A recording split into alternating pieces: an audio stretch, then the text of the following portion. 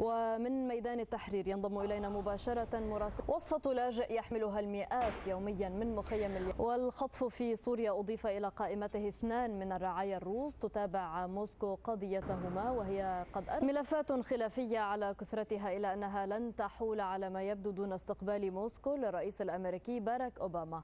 الكرملين أعلن اليوم أن أوباما سيزور روسيا على الأرجح في النصف الأول من عام 2013 دون إعلان تفاصيل أخرى عن الزيارة.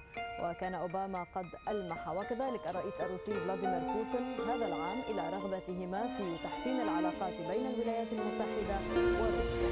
القصف كان عنيفا اليوم على بلدات ريف دمشق والغوطة الشرقية. وشن الطيران الحربي غارات متقطعة وبفصول مختلفة تستمر الاشتباكات وعمليات القصف على أغلب والبلدات السورية فاليوم صدق حادثة في الأجواء العراقية تظهر حجم الفجوة بين الحكومة المركزية العراقية في بغداد والمنطقة الكردية.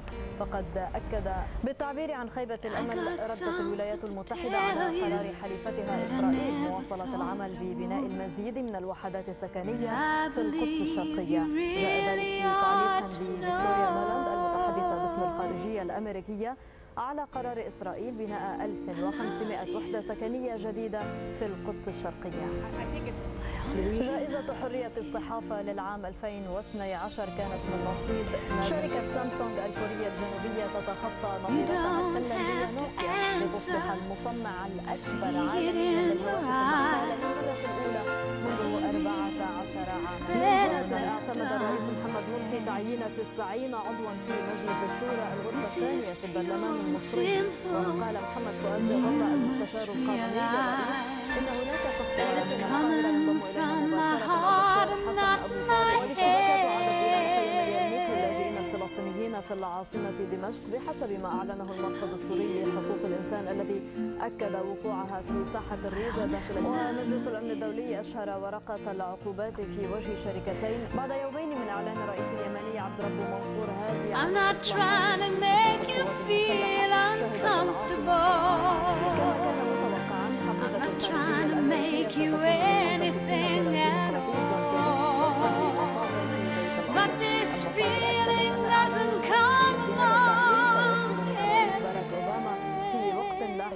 اليوم. وكان اسمه الشيخ مكتوم بن محمد بن راشد ال مكتوم نائب حاكم دبي قد شهد في بداية الاحتفال وبعد تعقده معرض وذات المشهد من العنف ينسحب على باقي المناطق.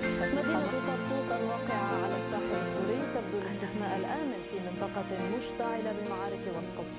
صحيفة نيويورك تايمز الأمريكية وفي جدول أعمال قمة دول مجلس التعاون الخليجي ملفات تحمل جديد القضايا المطروحة في القمم السابقة. وفي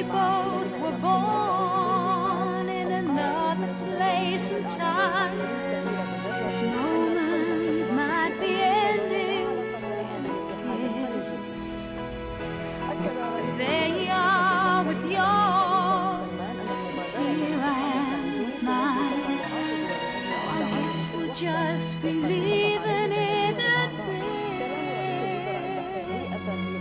خص به رئيس تحرير جريدة البيان ضاعن شاهين أجاب فيه عما إذا كانت البحرين والسعودية ستتجهان لتشكيل اتحاد كونفدرالي في حال تأخر إعلان الاتحاد الخليجي الشاب تضامنا مع الأسرى المضربين عن الطعام داخل السجون الإسرائيلية احتفل أمام مقر الصليب الأحمر الدولي في مدينة بيت لحم بإضاءة شجرة ميلاد أسرى الحرية تزامنا مع الاحتفال بأعياد الميلاد المجيدة.